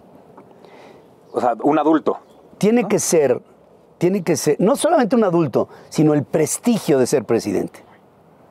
el privilegio de estar al frente por, por lo que sabes y por cómo puedes conducir un país. El, el- el- el- el, eh, el crédito que debe de tener un hombre que sabes que puede guiar a una nación. O sea, si yo me subo a un avión y me asomo a la cabina y veo un güey que... ¿Y ves- ves- y ves un centennial? Sí. O, un cuate que está a punto de despegar y dice... Y ves, ¿no? ¿Qué pasó, güey? Y ¿Qué- ves, y ves a un influencer, Sí. y ves a un influencer. Sí, o sea, este, ves a un... Dices, puta, y me- te bajas in- inmediatamente. Ahora, si ves a un capitán con la investidura, con sus cuatro bandas, comandante, eh, que dices, eh, ay, yo estuve con usted en un viaje que hicimos. ¿Se acuerda cuando llevamos a el presidente Cedillo a, a- a la muralla china? Sí, cómo no, que se me rompió el parabrisas en pleno vuelo. Sí, claro que me acuerdo perfecto. ¿Cuántas horas de vuelo tienes, comandante? Pero lo tienes, lo estás diciendo clarísimo. Necesitamos a alguien que lleve toda la vida en la política, que sepa respetar las instituciones. Más que en la política, mira, yo quisiera que cuando venga lo que tenga que venir, le digan al oído al, al presidente, al, al director general del Banco Mundial, ¿ya sabes quién va a ser el próximo presidente de México? ¿Quién? Fulano, aquí lo tengo. Fulano, ¡ay! ca- No manches, ¿sí? Oye, pues ya estos cuates ya están entendiendo, ¿eh? O sea, México está empezando. ¡Necesitamos lana! Necesitamos atraer capitales. Sí, necesitamos que se vengan a invertir aquí. Necesitamos decirle a, a Tesla, oye, no hay agua, yo te la llevo envasada, Pero, cabrón. güey, pero si no, no, va, no, no va a construir barcos, o sea, no va a construir limonadas ni una refresquera. Por Dios, y, si quiere venir aquí quien sea y quiere invertir en México y quiera generar empleos para nuestra gente, quiera hacer economía, bienvenido sea, qué contratos leoninos ni qué mangas. O sea, lo que tenemos que es hacer que México sea un país atractivo al mundo. Tenemos todo, pelón, todo. Lo único que nos falta es un capitán sereno, Y que, hay, o que llegue ese capitán sereno, que ya que además lo viste en tantos viajes, que lleva mucho recorrido, que es las tres cosas principales que tiene que hacer llegando. La primera, unir al país. O sea, este país está desunido. Parece mentira, pero hoy un presidente tiene que llegar a decir, yo vengo aquí a gobernarlos a todos. Quiero escucharlos a todos. Quiero aprender de todos. Quiero ser para todos. Quiero entenderme en todos. Yo vengo a guiar a este país con las mejores mentes que estén abiertas a aportar para que lleguemos a un mejor puerto. Dos. Eh, educar a este país. Este país no tiene un proyecto educativo. Pero nunca lo ha tenido, o sea, nunca ha sido prioridad de ningún gobierno la educación. Nunca ha sido. Porque claro, porque si están educados, educación, si a lo mejor tú te la sabes mejor que yo, su raíz es educare y educere, que significa extraer, no imponer. Mientras más educado esté una persona, más va a pensar por ella misma, ¿no? O sea, que además el sistema educativo, y no hablo del, del mundo en general, hablo, nada más me quedo aquí en México, es apréndete las cosas de memoria y no aprendas a, no, no te aprendas a, A pensar, pensar. por ti mismo. A mí de qué demonios me interesa saber si el 7 de diciembre de 1941 atacaron los japoneses Pearl Harbor si no se tomara una decisión laboral, sentimental, emocional, ¿no? O sea, no nos enseñan a pensar por nosotros mismos. Pues claro, así han podido dominar. También es culpa de los gobiernos pasados. Entonces, a- al decir la educación, ¿qué nos hace falta para que exista una educación de verdad en este país? Eh, en primer lugar, llamar a los mejores, pedagogos, hombres de letras, hombres de ciencia, hombres y mujeres que, que- aporten a que haya una eh, educación dinámica. ¿Qué quiere decir dinámica? Que la letra, ya, hoy el peso de la letra de un libro de texto ya no sirve de nada, porque evoluciona. Decía Charles de Gaulle cuando instauró la Quinta República, qué difícil es gobernar un país en donde hay 635 variedades de queso. Carajo". Sí, porque es 635 variedades de formas de pensar y eso multiplicas por millones y no vas a estar de acuerdo con alguien. Pues por eso Sócrates no estaba de acuerdo con la democracia, ¿no? O sea, Claro. claro, o sea, porque los que no saben pueden decidir este, y los que sí sabemos no podemos decir este es el que se va a quedar. Pero ¿qué pasa si todos los que tienen que decidir saben? Sería increíble. Por lo menos que se Que eso no quiere decir que se vayan a equivocar. El que sabe también se equivoca. Sí, y que sería la maravilla que, que- se, se te acerque un mesero y que vea esta conversación y que diga, no, pelón, espérate tantito, no, no, no voy de acuerdo contigo por esto y por esto y por eso. Y que digas, ay, siéntate, güey. Sí, siéntate. Mira, en esto sí estoy de acuerdo, en esto no, pero a ver, síguele. Porque además, el que no estés, es maravilloso platicar con gente que no piensa como tú, porque es cuando aprendes. Si nada más quieres que te aplaudan y te elogien y que digan, oye, ¿cuánto sabes? Pues esa es la fácil. Cuando empezó esta intentona de adoctrinamiento con, este, con Cheiro y con todos estos eh, imbéciles, empecé a luchar en contra del concepto del adoctrinamiento. Hasta que llegó un hombre más sabio que yo y me dijo al oído, Pedro, ¿para qué te desgastas? ¿Quiere, López Obrador quiere adoctrinar a este país? Sí. ¿Tú crees que tiene la capacidad para organizar a un millón, cien mil maestros en una sola idea, hacia un solo fin? No. No. ¿Tú crees que tiene el tiempo? No. Entonces, ¿para qué te desgastas?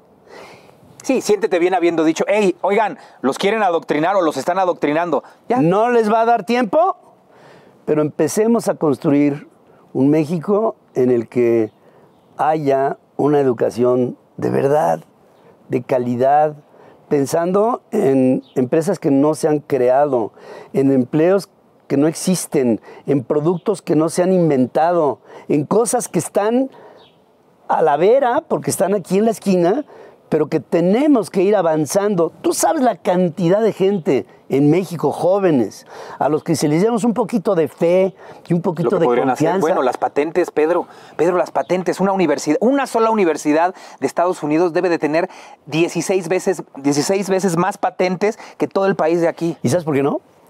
¿Saben por qué no hay patentes en México? Porque si mañana sale un cuate mexicano y dice, aquí está la píldora en contra del cáncer, de cualquier tipo de cáncer.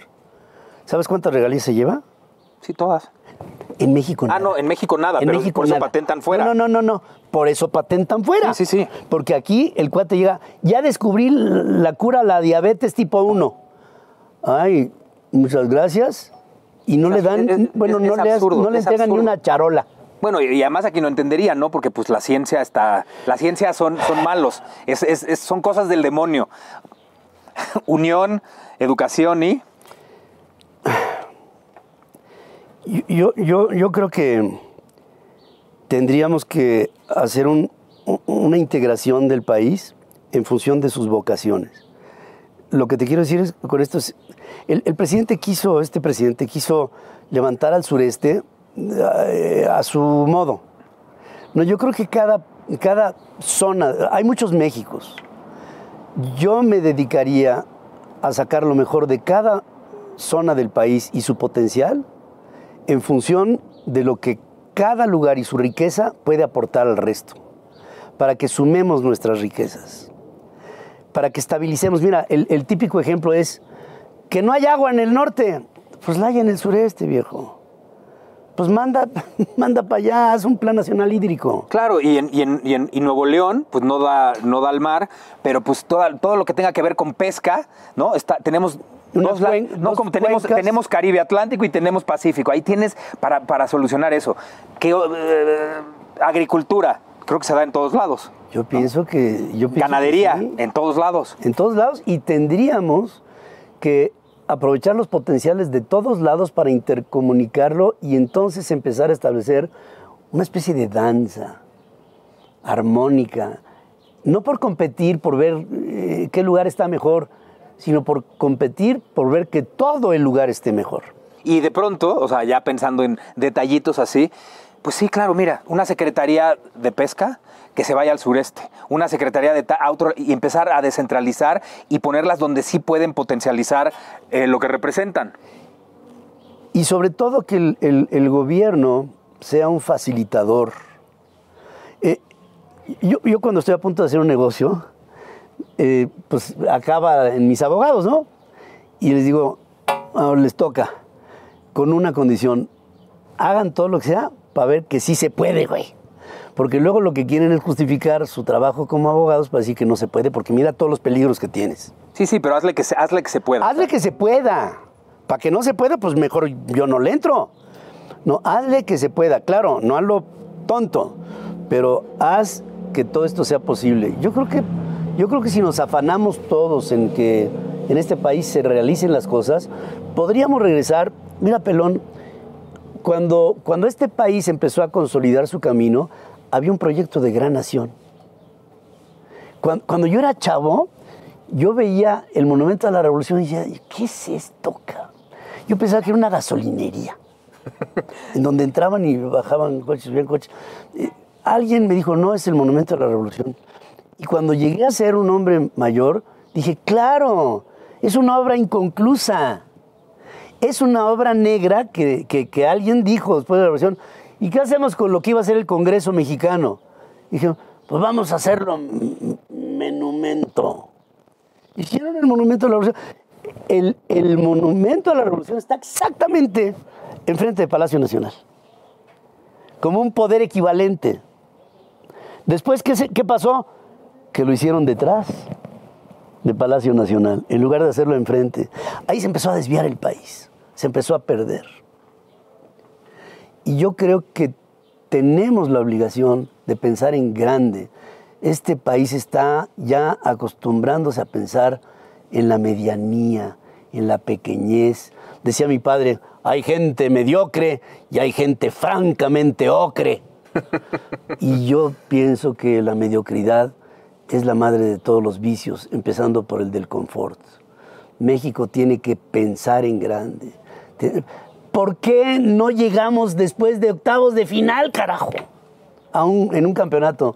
Porque no nos mentalizamos. Tiene que ver mucho. Tiene, o sea, se refleja en el deporte, se refleja en, la gente que, en la gente que en cualquier área viaja a, a- a dar conferencias, viaja a exponer, viaja a. Y no se hace chiquita. Sí, sí. Y no, pero es que hay mucha gente que no se hace chiquita y mucha que sí. El síndrome del chilaquil. ¿No? De que vas tantito, acabas de, de- de- sales a cualquier lado y dices, ay, yo como quisiera unos chilaquiles. Espérate, pues mejor que te sirvan lo que se come aquí, lo entendemos, ¿no? Sí, de pronto, hace- llevar, de pronto llevar a Del Toro, a, a, a Iñárritu y a Cuarón a las concentraciones de la selección y que les hablen ellos como no se hicieron chiquitos en Estados Unidos. Claro. Y pensar, pensar que el mundo es de los triunfadores. Y, no es una frase hueca ni de un libro de superación. No, de verdad. Mira, yo he dado más de 5 mil conferencias en mi vida, en mi vida profesional. Muchas veces me llegan los jóvenes, ¿cómo, cómo se llega al éxito? Puta, no sé, no tengo la menor idea. Pero lo que sí te puedo decir es que hay que ser muy necio para llegar al éxito. Hay que estar duro y duro y duro. Sí, la constancia. Y llorar a veces y reír a y veces. entender y entender que el fracaso es el camino al éxito. O sea, nada más que nosotros la palabra fracaso nos revienta aquí. Si la cambias por derrota temporal y ya depende de ti si quieres que se vuelva eterna, ¿no? Son derrotas que tienes que ir asumiendo y que te van a O aprendizaje parcial. también, también. Pero además lo puedes, puedes hacer una analogía con el deporte. El Barça, yo siempre le fui al Barça porque pues mi mamá era catalana, ¿no? Entonces, sin saber que existía el Barça, yo le iba al Barça. Ese mejor Barça de la historia, el de, el de, el de Pep, que ganó todo y que además enloquecía a la gente viéndolos jugar, también perdía. Perdía varios partidos y no pasaba. Eso no, eso no le quita que para los expertos sea el mejor equipo de toda la historia del fútbol y también perdía. Entonces, perder es parte del proceso para poder llegar. Fíjate que cuando se arma un avance y llega un centro y pega una patada y la bola sale para las tribunas, aquí le chiflan. En Europa le aplauden porque intentó meter un gol. Le salió un... Sí, chapa, pero, pero, pero quiso hacer algo. Pero quiso hacer algo. O sea, no le salió, güey, la puso en órbita, ni modo. Pero se regresa, se va aplaudiendo, se va echando ganas. La Bien, próxima bien, la, próxima, meto, la próxima a lo mejor bajo dos metros y pega en el travesaño. Y la tercera o la cuarta entra. Pues claro. Yo lo único que te puedo decir es que yo, yo soy producto de la suma de mis fracasos. Todos. Todos. Todos lo son. Y, y a veces son muy duros los fracasos, a veces son tremendamente eh, hasta crueles. Pero son aprendizajes que va uno teniendo en la vida hasta llegar. Yo creo que a esta vida venimos a aprender. No sé qué otra cosa, pero aprender estoy. No, sí, claro, y a, y a ejecutar lo que aprendiste, porque si no, no te sirve de nada, ¿no? De O sea, si no hay acción, no te sirve de nada. Ya para irnos, ¿a ti te gusta el box? me- yo fui karateca, este, 12 años, y me gustan los trancazos, sí. Pero el box, el box, o sea, el, el deporte como tal. el deporte en, como en- tal. en lo que sí somos potencia en este país. Sí, en me este gusta. momento, hoy por hoy tenemos ocho campeones del mundo. Porque son individualidades. Sí, sí, pero a- a mí me encantan las analogías con el deporte para la vida, porque la vida es como una pelea de box, ¿no? O Sí. sea, ahí está tu rival y no, lo tienes que enfrentar. Y pues ya depende de ti si lo enfrentas a la mediana, a la corta, a la larga distancia. Este, hay que además saber moverse, mover la cintura, ¿no? Tirar diferentes combinaciones para que no se aprendan cómo tiras los trancazos. Siempre va a sonar la campana. Oye, y prepararte un montón Claro, ah, no, antes, ¿no? obvio. Pero además tienes tu esquina a la que tienes que hacerle caso y tienes que escuchar. Y si ellos no tienen la verdad, la tienes que resolver tú. Y siempre aprender que el round pasado ya vale, ya vale, no, no importa. El importante es el round que viene. Y no importa si te tiran, hay que volverse a levantar. Si así vives la vida, pero esto lo puedes hacer con el toro, con el... O sea, esta analogía la puedes la hacer con- vida. es la vida. Hasta, Entonces, hasta con un examen. Sí, y se vale. Si, la- si le haces la analogía con el toro, ahorita no, no que- pues ahí está el burladero, es más, vete al callejón, aguántate, pero vas a tener que salir, ¿eh? O sea, tarde o temprano vas a tener que salir y enfrentarte a esa vida, a eso que es la vida.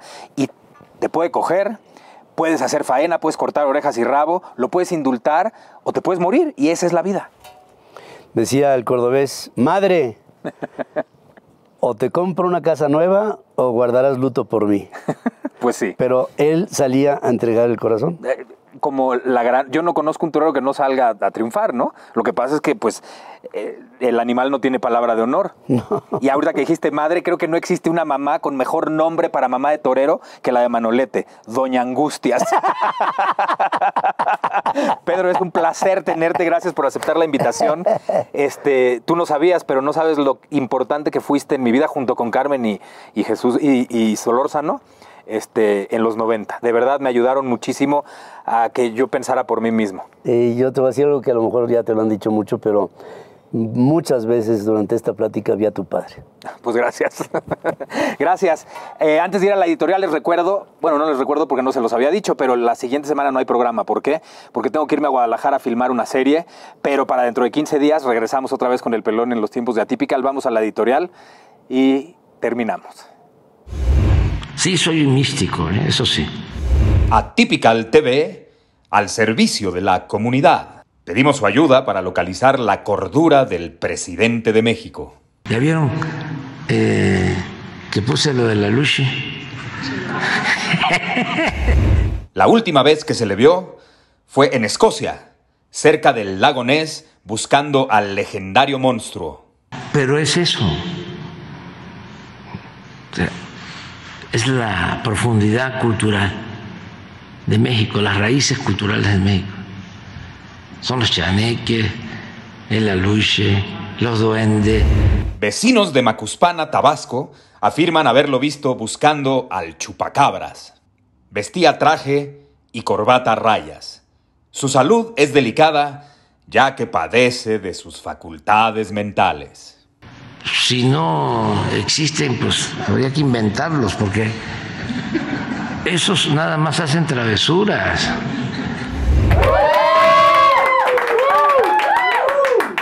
La política de nuestro país es un circo. Y no, desafortunadamente no es un circo con un concepto impactante y artístico como el de Cirque du Soleil. Mucho menos es un circo vanguardista, como la compañía de circo sueca llamada Circus Circor. La política de nuestro país es un circo decadente, deprimente, decrépito, asqueroso y sí. La verdad, sí provoca muchas risas involuntarias. Miren, por ejemplo, a este payaso. La marcha del domingo, ¿para qué es? Para pedir la libertad de García Luna, para pedir impunidad, para mostrar el músculo, ¿no? Y traen ahí sus aliados perversos.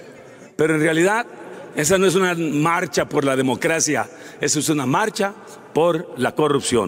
Déjenlo salir. Ah, no, va, no, no es cierto, no. No, ¿y qué les parece esta saltimbanqui?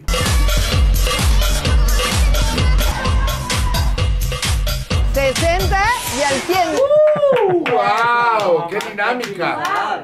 No, y los bufones andan desatados. La juventud es tomando vuelo, dejando los temores en el suelo. Como dijo mi abuelo, si yo necesitaba de hombres buenos, por eso México está con Marcelo. Hoy venimos con Marcelo y la juventud es tomando vuelo, dejando los temores en el suelo. Como dijo mi abuelo, si yo necesitaba de hombres buenos, por eso México está con Marcelo. Con Marcelo sí, va a haber prepa sí, y jóvenes construyendo un futuro feliz. Va por mi país y también por ti, que muchos han trabajado para estar aquí. No puede ser. Y les pagan. Esas son barras, pero de cacahuate. Todo show que se digne a ser llamado circo tiene elementos inconfundibles y personajes entrañables, como los acróbatas. Estos individuos son especialistas en hacer ejercicios gimnásticos con enormes grados de dificultad. Suelen realizar equilibrios, saltos, piruetas, pero sobre todo maromas. Tienen gran afinidad para justificar los pésimos chistes del maestro de ceremonias, del circo, y gracias a sus estupendos actos de acrobacias, ellos ya son dueños de programas de televisión, cuentas bancarias llaman programas. y sobre todo de tremendas mentadas. También tenemos al trapecista. En el ecosistema circense es el más rentable. Su acto consiste en saltar mortalmente con maroma incluida de un trapecio a otro. Cambia de trapecio como cambia de calzones o de partido político. Sí, o calzones de bar. Uno de los trapecistas más encumbrados en la actualidad es el señor Manuel Bartlett. Que cambió del PRI al PT y del PT a Morena. Y de represor en gobernación a estandarte de la transformación. No, hombre, y además suelen referirse a él como patriota. Otro personaje en este castillo de los sueños es el contorsionista.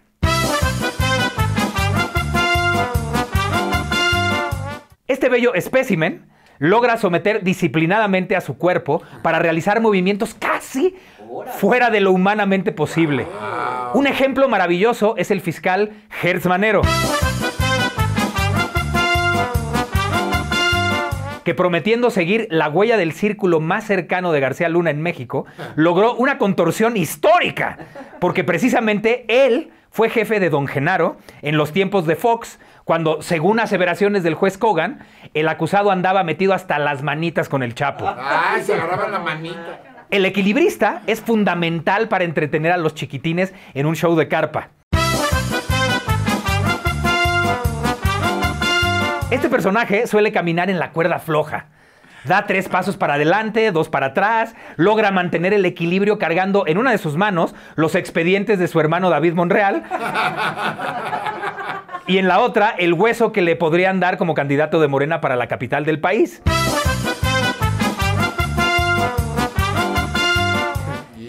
Suele ser chantajista para obtener lo que quiere y comúnmente traiciona lo que presume en los micrófonos. Como cuando habló mal del plan B del presidente, pero en secreto votó a favor. Ah, así no se vale. El escapista es uno de los personajes favoritos del dueño del circo. Se llama Enrique Peña Nieto.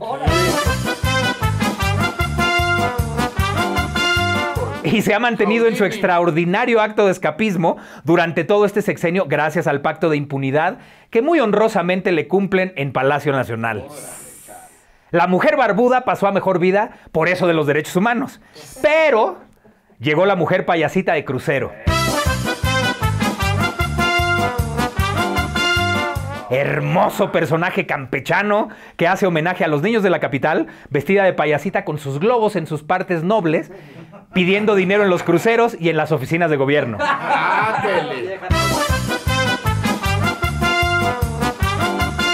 Un personaje que no puede fallar en la escena de las tres pistas es el titiritero. Actualmente, por la austeridad republicana, el acto es realizado por el mismo maestro de ceremonias del circo. La rapidez con la que mueve los dedos para mover los hilos de sus títeres, uy, nos recuerda a los ginecólogos y proctólogos más reconocidos. Revísense. Su marioneta es famosa porque cada que quiere ser candidata se le cae el metro. O sea, tragicomedia pura. Recordando al cine de oro, no podían faltar la tostada y la guayaba.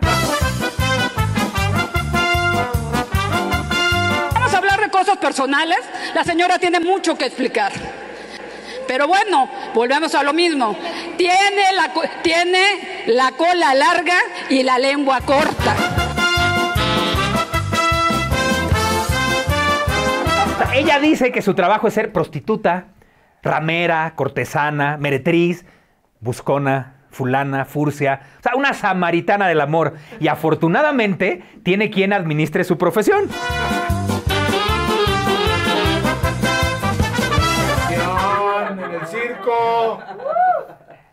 Tampoco puede faltar el arlequín disfrazado de borrachito indigente.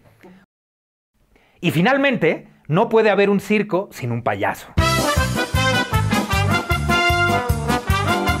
Este artista de la risa y de la comedia, quien también trabaja de maestro de ceremonias y domador de mascotas del bienestar, hace gestos y escenificaciones graciosas o grotescas y cuenta chistes para divertir y hacer reír al público todos los días desde su mañanera y para dar las gracias al final de cada función. Fíjense lo que les pide. Agárrense de las manos.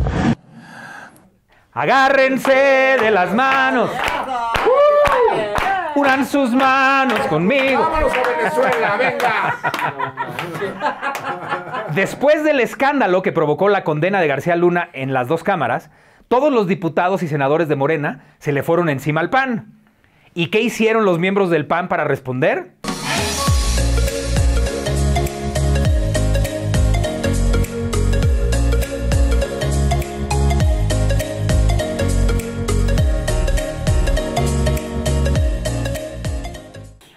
El PAN, el PAN vio que el viento lo tenían en contra y decidieron hacer lo que hacen los marineros en las mismas circunstancias. O sea, navegar en zigzag.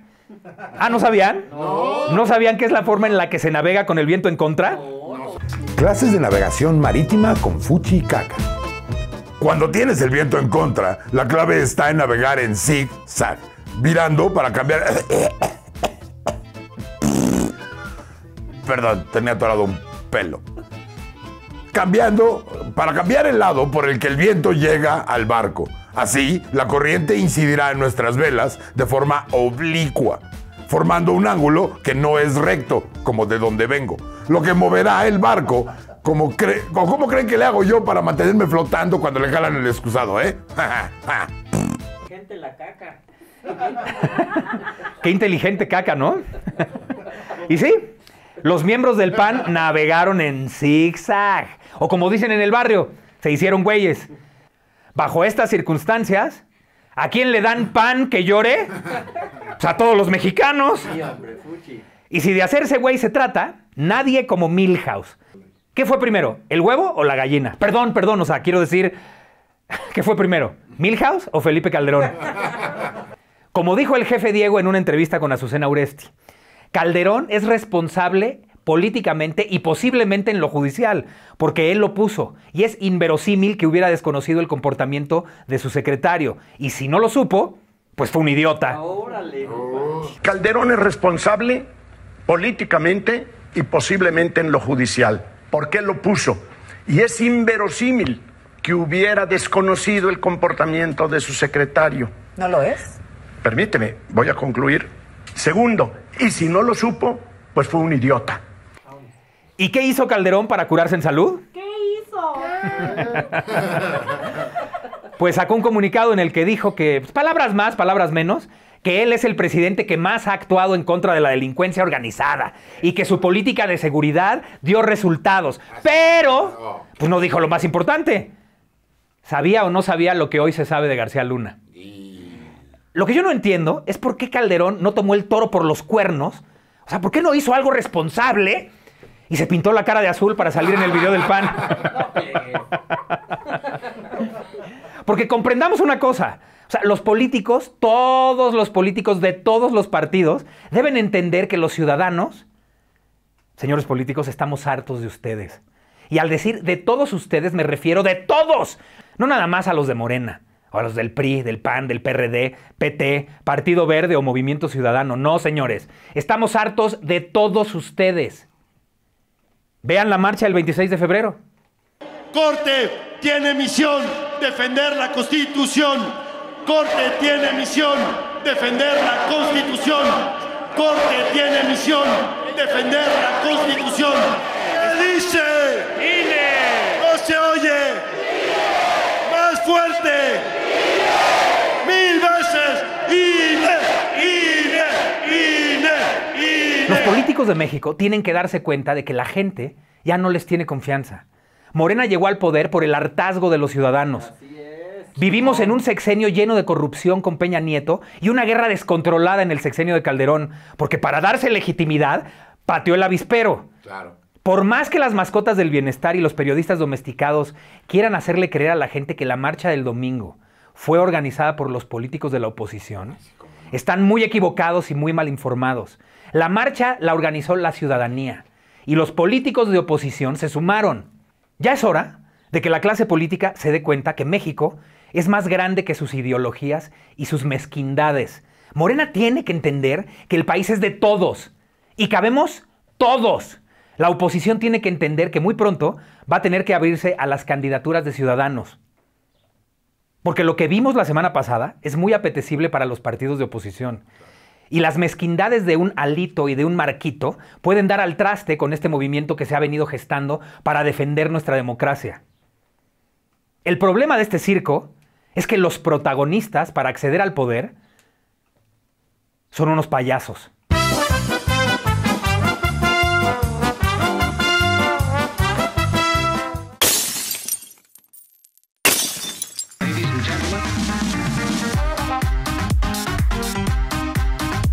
Hola amigos, la carta que escribí este jueves para Atypical TV se la dirigí a la mitad del país, o sea, a los que odian a Andrés y a Lamentada 4T.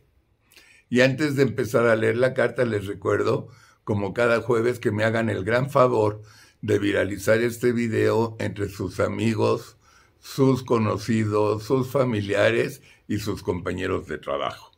Y como saben también, eh, ayúdennos a promover que la carta está en todas nuestras páginas en las redes sociales. Muchas gracias. Bien, vamos a la carta.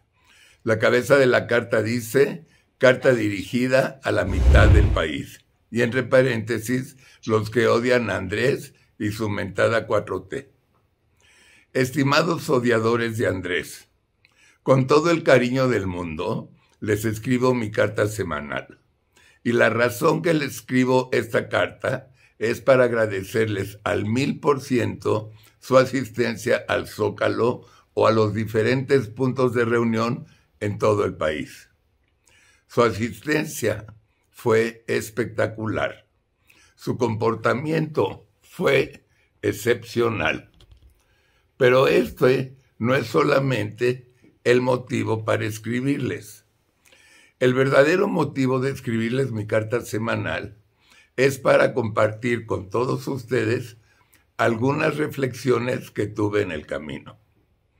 En primer lugar, lo que me llamó mucho la atención y me indignó de una manera gigantesca fue las dos sorpresas que me llevé en la plancha del Zócalo. Vi como todo Palacio Nacional estaba protegido por unas murallas de fierro imponentes. Pensé y me dije a mí mismo, oye mí mismo, ¿te fijaste que la titina Sheinbaum mandó proteger al Palacio Nacional creyendo que nosotros somos iguales a ellos? Y luego, después de que no habían pasado ni tres minutos, volteo a ver el asta bandera de la plancha y ¡pum! Otra sorpresa. Tampoco había bandera. Ahí me pregunté, ¿por qué Titina tiene tan mala leche? ¿Quién se cree Titina para no ondear la bandera? Su resentimiento es tan grande que no lo puede esconder. Después de este shock, les quiero compartir los pensamientos que pasaron por mi cabeza. ¿Por qué Andrés vive en un palacio rodeado con más de 100 empleados? Cuando dijo que no viviría en Los Pinos porque son muy suntuosos. Imagínense. Después, oigo un chiste que se repitió varias veces en las redes ese domingo. ¿Están sentados? Pues resulta que un idiota de Morena, colaborador de Titina, se echó el tirito a anunciar que habíamos asistido a la marcha alrededor de 90 mil personas. ¿Lo pueden creer? Solamente 90 mil, cuando fuimos un poco más de 500 mil. Ellos, como no saben perder, tampoco saben contar. Y estos de Morena son tan basuras que cuando tienen un evento en el Zócalo y este evento, eh, y este evento se medio llenó, esos mismos bocones presumen diciendo que fueron a ese evento unos 300 millones de personas. En fin, queridos amigos, lo que para nosotros fue una gran fiesta, para los morenos fue un gran velorio. Como que ya presienten que van a acabar su propia tumba. Y ya para terminar, después de cuatro días escuchando las sandeces del presidente en la mañanera, le comparto, les comparto mis conclusiones. Andrés está neurótico por la asistencia de todos nosotros a la marcha. La asistencia de nosotros fue un terrible golpe a su ego. Tengo la impresión que Andrés sabe lo que yo sé, que van a perder el Estado de México y también Coahuila. Y en la presidencial van a arrancar empatados o Morena tres puntos abajo. Su plan B no va a pasar en la Suprema Corte de Justicia. Su pinche tren Maya no lo va a terminar. Su refinería arrancará con muy poquita producción y su aeropuerto otra basura sin ser usada. Sabe que puede perder la elección en el 2024 y desde ahora ya está pensando en un plan maquiavélico para robarnos el triunfo de esa elección. Y lo peor para él, sabe que en el 2025 pudiera estar en una chingada muy diferente a la que viva. Una chingada tras las rejas. Conclusión. Nos hará creer que está de muy buen humor, estando de pésimo.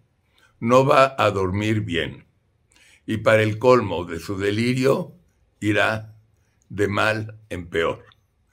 Tengamos los ojos muy abiertos. Amigos, esta es la carta de este jueves. Tengan un lindo fin de semana. Vean a Typical TV y nos estaremos viendo el próximo jueves. Buen día.